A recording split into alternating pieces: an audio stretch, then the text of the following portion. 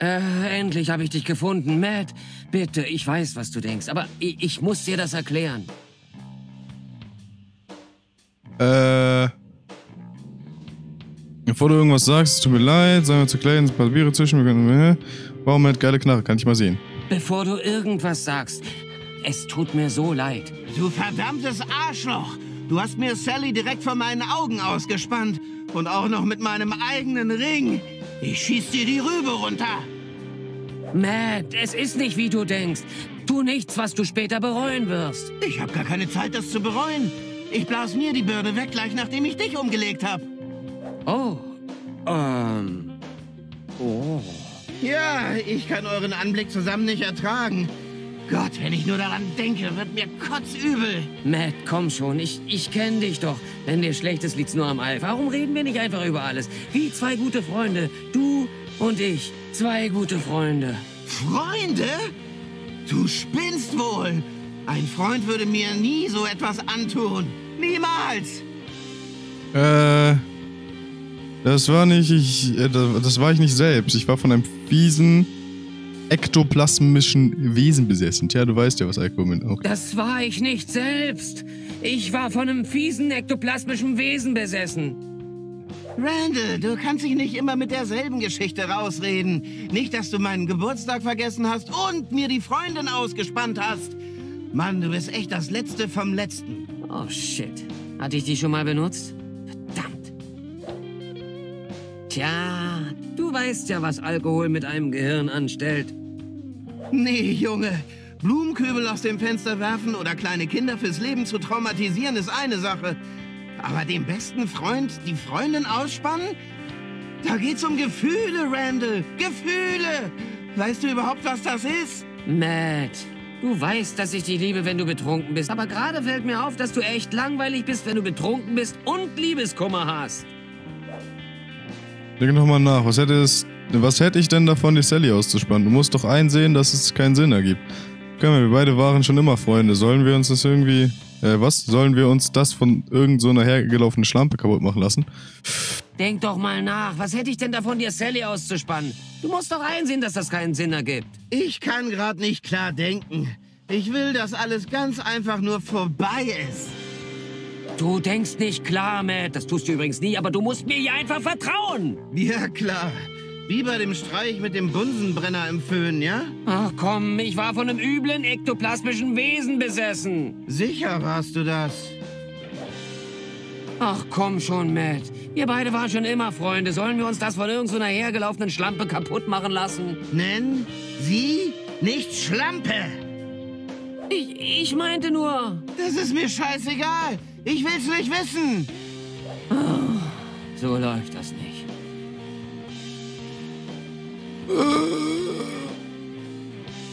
Matt, ich schwöre dir, ich will gar nichts von Sally, glaub mir. Tja, so sah das aber gar nicht aus, als du ihr meinen Ring gegeben hast und ihren Antrag gemacht hast. Und das war gerade mal gestern.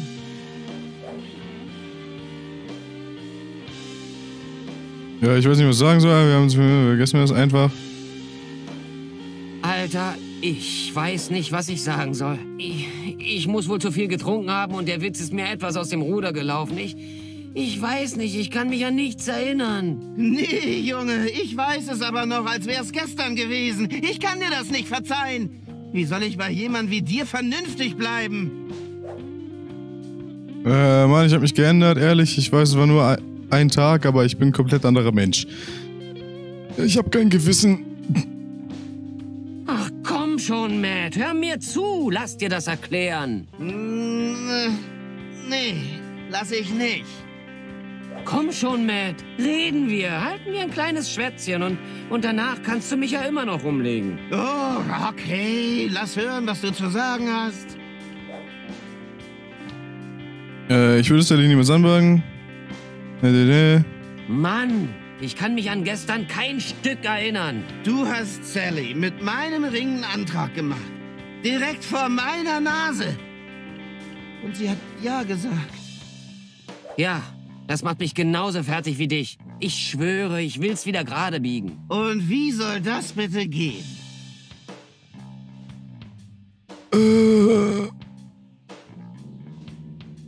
Ehrlich gesagt, ich weiß es auch nicht. Das soll's dann sein? Ich wünschte, ich könnte was anderes sagen, aber ich konnte Sachen noch nie richtig gut wieder gerade biegen. Weißt du, Randall, das ist alles ganz schön scheiße.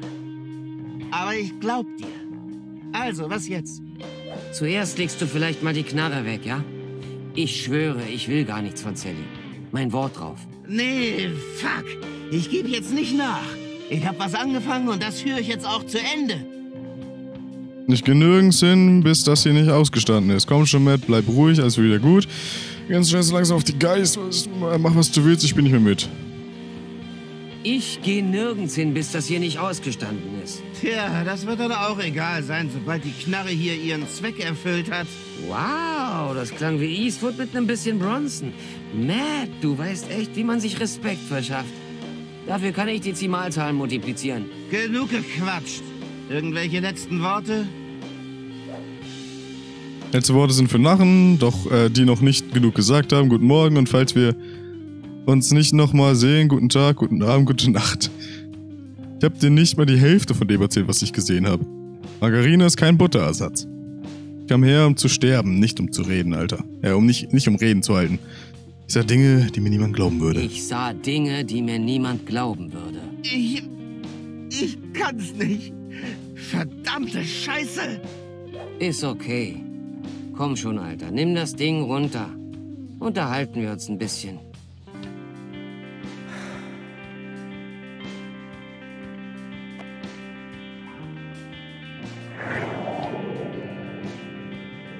Nein. Was? Nein, nein, nein, nein, das darf doch nicht wahr sein. Nein! Stehen geblieben. Keine Bewegung, Penner. Dein Arsch gehört mir. Was zum Geier machen Sie denn hier? Und warum beleidigen mich immer alle, die eine Knarre auf mich richten? Randall Hicks, Sie sind verhaftet. Was? Warum? Wegen des Mordes an Matthew Griffin. Oder willst du das etwa leugnen? Ich. Wissen Sie was? Machen Sie doch, was Sie wollen.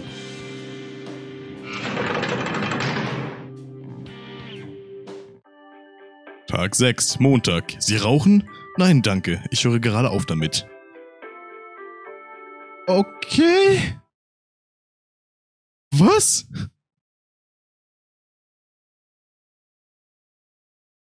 Alles klar. Der erste Tag ist der schwerste, das steht einwandfrei fest. Und wenn sie dich in die Zelle stecken und das Gitter krachtend zuschlägt, dann weißt du, dass es kein Traum ist. Im Bruchteil einer Sekunde ist dein Leben dahin. Nichts bleibt davon übrig. Du hast nun alle Zeit, um darüber nachzudenken. Und ein Maßband in deiner Tasche. Knast? Echt jetzt? Ich hasse das Leben.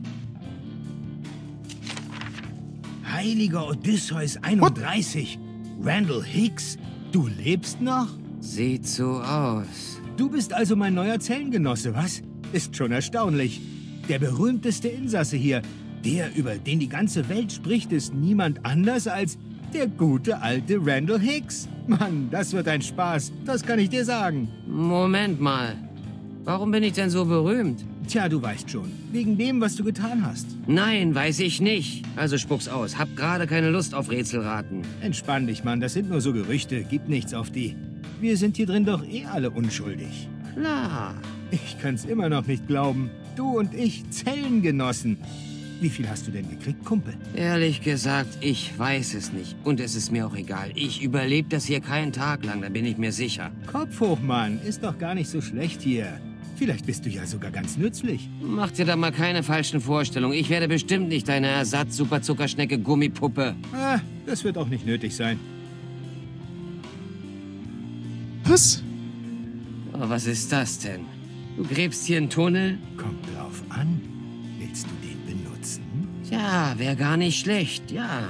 Weißt du, das Knastambiente bekommt mir nicht besonders gut. Also, wenn du mitkommen willst, geht das klar. Aber du musst es dir verdienen. Wenn du raus willst, kostet das was. Ich sagte ja schon, dass ich nicht deine Ersatz-Super... Ich sagte, das wird nicht nötig sein. Ich brauche einen Gefallen. Wenn du mir hilfst, verspreche ich dir, dass wir dich hier rauskriegen. Okay. Was genau brauchst du denn? Wird nicht einfach, das hier im Knast zu besorgen. Aber vielleicht kann dir ja noch jemand helfen. Na los, spuck's aus. Worum geht's? Okay, ich rede jetzt mal Klartext. Ich brauche Sprengstoff. Sprengstoff! Sehe ich wie MacGyver aus? Komm schon, Mann. Ich grab hier einen Tunnel mit meinen Adamantium-Klauen. Die Mauern sind marode, also ist das kein Problem. Aber ich komme jetzt zu Sektor 7 und das ist verstärkter Stahlbeton. Dagegen kommen meine Klauen nicht an. Wo wir gerade bei deinen Klauen sind, wie hast du die denn überhaupt hier reingeschmuggelt? Ach, das. Jeder Insasse darf einen Gegenstand behalten, der einen besonderen sentimentalen Wert für ihn hat. Solange er verspricht, niemanden damit umzulegen. Oh, schöne Regel. Was hast du behalten? Ich? Naja, sieht aus wie ein scheiß Maßband. Ich hätte lieber die koreanische Konsole gehabt, die mit den Elektroschocks. Verstehe.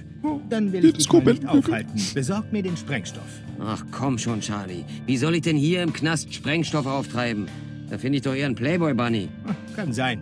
Aber wir sind nun mal im Knast und ich grab einen Tunnel mit meinen Klauen aus Adamantium. Und wenn ich etwas aus Comics gelernt habe, dann ist es, niemals aufzugeben. Naja, das und Adamantium-Klauen plagieren. Hey, was willst du damit andeuten? Nichts, nichts. Nochmal zurück zu dem Sprengstoff. Eine Ahnung, wo ich am besten anfange? Tja, du könntest ihn selbst herstellen. Oder Sleazy kann dir helfen. Der kommt an alles mögliche Zeugs ran. Tut mir leid, aber als in der Schule C4 dran war, habe ich wohl gefehlt. Sei doch nicht so negativ. Ich weiß nicht. Frag einfach mal rum oder, oder geh in die Bibliothek. Lern einfach mal was dazu, Randall. Ich schau mal, was sich machen lässt. Also, was macht man denn hier drin so zum Zeitvertreib? Tja, nicht viel. Ich gehe kaum aus meiner Zelle raus. Aber wenn du Unterhaltung brauchst, probier's auf dem Hof. Vielleicht gibt's einen Weitspuckwettbewerb. Oder frag die Schwestern. Die stehen auf Party und so. Alles klar. Wie bist du denn eigentlich hier gelandet? Ach, ich sag ja, wir sind hier alle unschuldig. Monster. Warte mal, was hast du gerade gesagt? nichts, nichts. Weiß bloß nicht, wie ich mit all dem umgehen soll. Wie meinst du das? Naja, weißt du, ich wurde wegen Mordes eingesperrt. Wow. Was? Was hat er gemacht? Hat er dir was geklaut? Hat er dich mit Fisch vergiftet? Ich weiß nicht, Mann. Ist alles wie im Nebel. Ich habe eine Menge Macadamia-Schnaps-Intus gehabt. Und dann habe ich wohl den Typen mit meinen Klauen in Streifen geschnitten. Wer war denn der arme Bastard?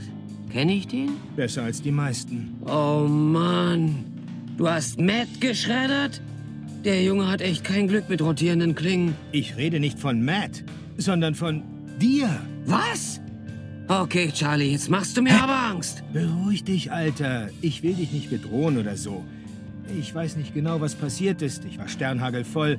Ich weiß aber noch, dass ich den Typen zerstückelt habe. Und dass er es verdient hatte.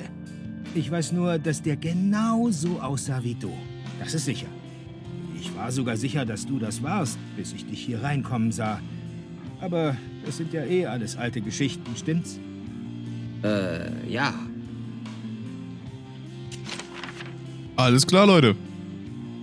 Ich bin gerade ein wenig verwirrt. Aber okay. Montag 2, Montag 1? Ach, das waren die beiden Saves da, wo die, wo die Dings kaputt war, ne? Die Aufnahme. Montag 6. Gut, Leute. Ich hoffe, es hat euch gefallen. Wenn ja, bewertet die Aufnahmesession. Alter, ey. Dieses Spiel wird immer abgefuckter.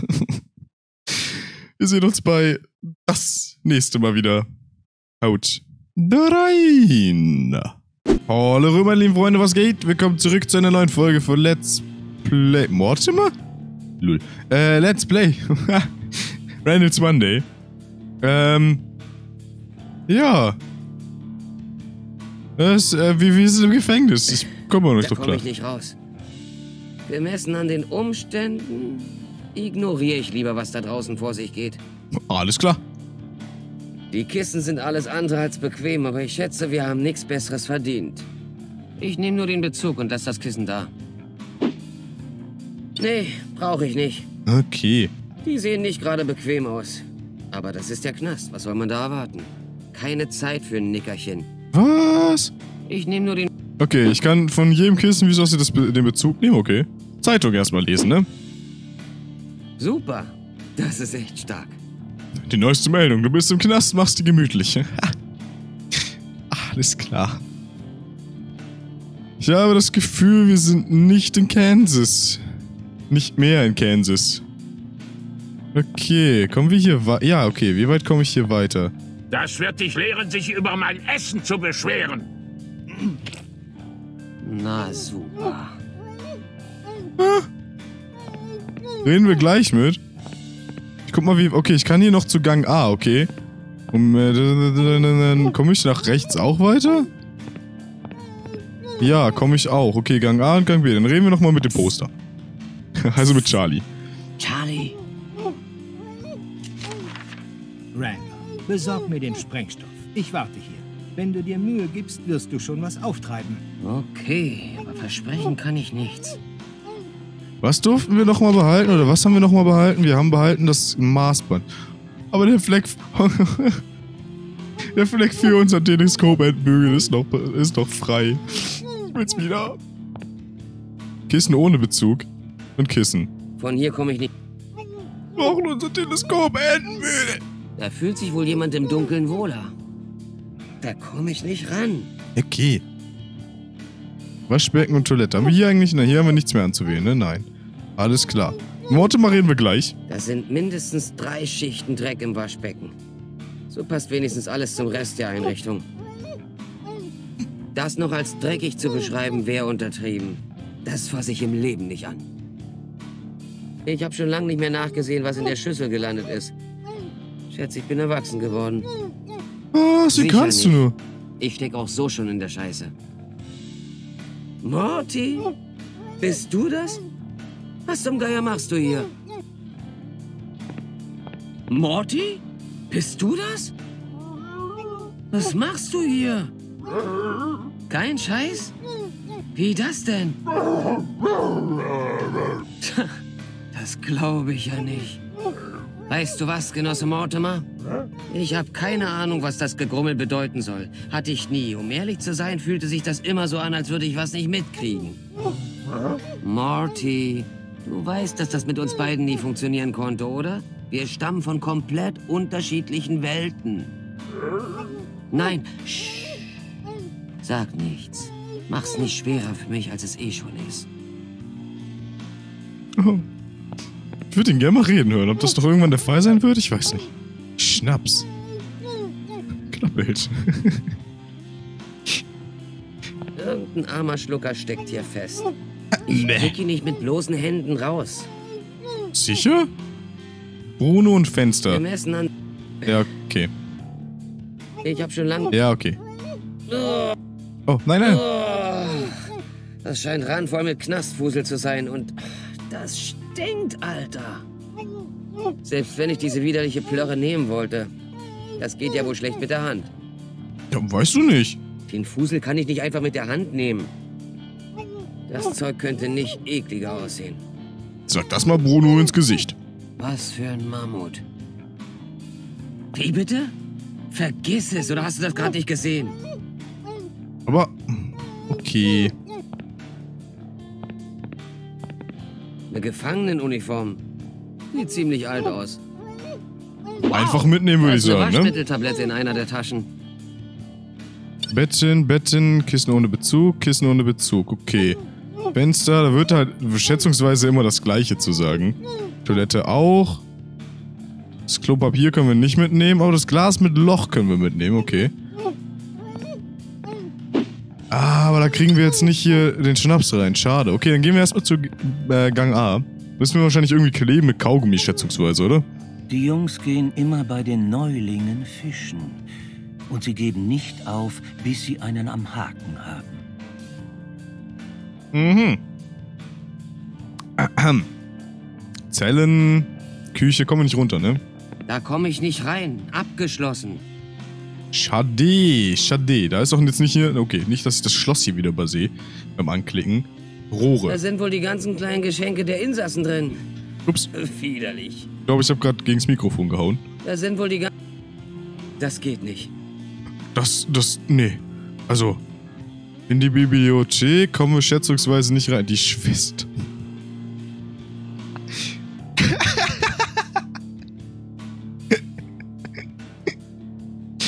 Schwestern. Als ob. Abschaum.